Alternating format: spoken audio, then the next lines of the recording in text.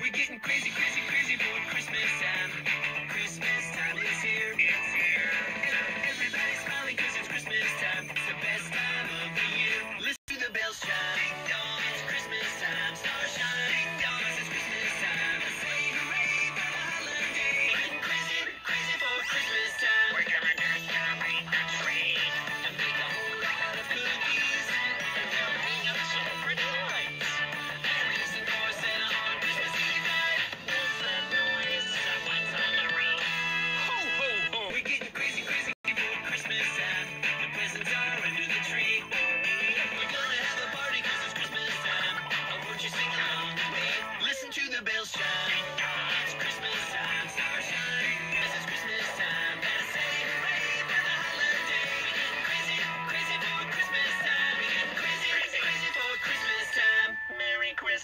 and